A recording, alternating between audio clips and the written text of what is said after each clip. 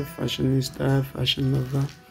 And welcome you all once again to my channel. Today we'll be looking at beautiful native style for lovers for couples all around africa all around the world.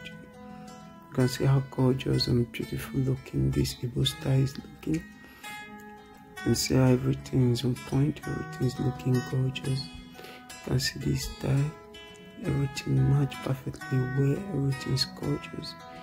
You can see this out of board design this native gorgeous style. You can see this yoruba buba style and this gown she's wearing.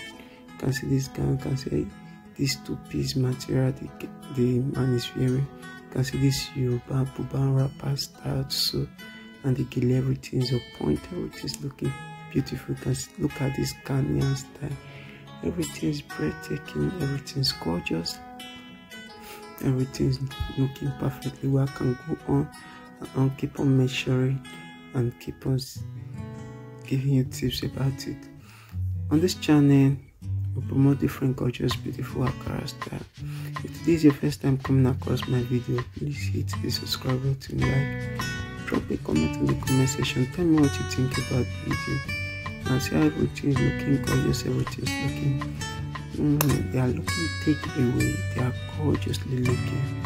They are well crafted. You can rock it anywhere rock it to the church to the party to the outfit to photoshop anything you can think of they are thinking of going for picnic. You can rock this. Everything just looking gorgeous. Please subscribe to my channel. Drop a comment in the comment section. Tell me what you think about my video watch till the very and so that you won't miss out on the gorgeous and beautiful content in the later part of this video. Please watch till the end. You can also check out my other videos on this channel. I upload beautiful and gorgeous content just like this one. When you subscribe, you get updated value content just like this one from me anytime I upload. Thank you, sit and enjoy the rest of your video. You're welcome.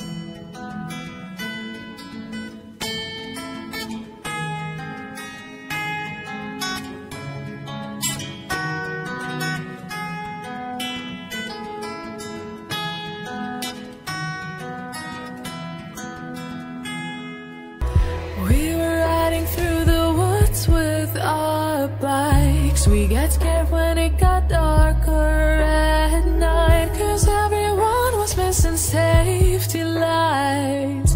So we tried to use a flashlight